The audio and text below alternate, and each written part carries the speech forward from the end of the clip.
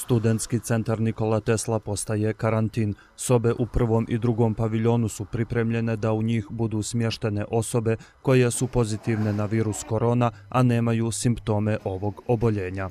Ljudi koji su, imaju, koji su pozitivni na koronavirus ovdje će imati 24-časovnu zdravstveni nadzor.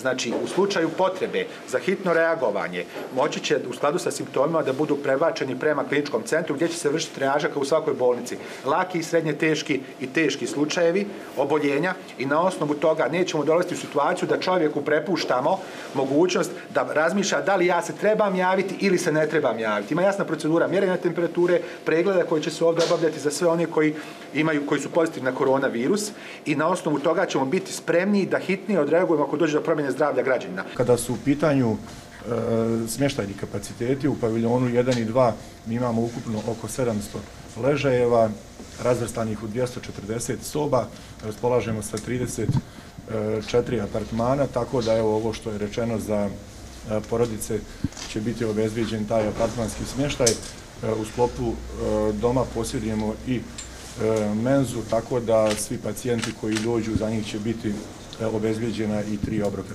Osobe Doma zdravlja Banja Luka će vršiti 24 satni zdravstveni nadzor na svim licima koja se budu nalazila u ovom objektu. Mi ćemo tog sutrašnjeg dana opremiti ovdje ambulantni prostor, e, donijeti svu opremu koja nam je neophodna za nesmetani rad, a namjera nam je u dogovoru sa ministrom da obezbijedimo i psihološku podršku svim licima koja se nalaze u ovom karantinskom smještaju. Pristup objektu će biti ograničen, a osobama koje budu smještene u studentskim sobama neće biti dozvoljeno kretanje, a sve će obezbjeđivati policija. Ovaj korak je preduzet, kaže ministar zdravlja, jer mnogi nisu poštovali mjere kućne izolacije, a neophodno je ispriječiti širenje virusa unutar porodica. Sada nismo više ni sigurni da osobe u smislu porodičnog okruženja, ne govorim u smislu javnog okruženja, mogu da se iskontrolišu i da ne prime svoje najbližnje ili svoje rođake evo u samu posjetu da neko eto nekoga malo dođe i posjeti i vidi. Moramo to ograničiti. Stvari su izbačene iz soba, ispakovane u vreće. Studenti su ogorčeni, kažu da poštuju sve mjere koje su propisane u cilju borbe protiv širenja virusa korona, ali da im je ostavljeno nedovoljno vremena da pokupe svoje stvari.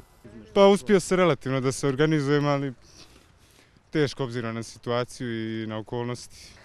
A ja sam sinoć baš ono važne informacije pročitala da se danas može ući sutra po stvari.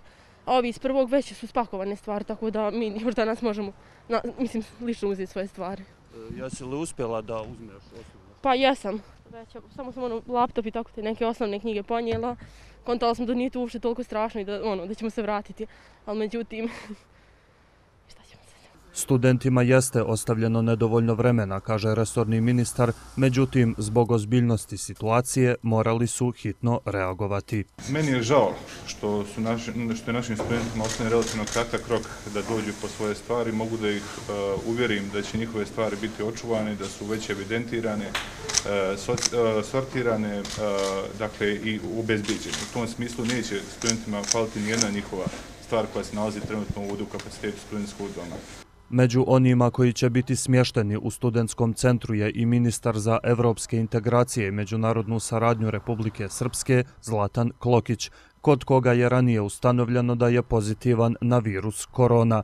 Objekti studentskog centra su namjenjeni za smještaj osoba iz Banja Lučke regije, dok će Đački dom u Bijeljini imati istu namjenu za stanovništvo iz Semberije.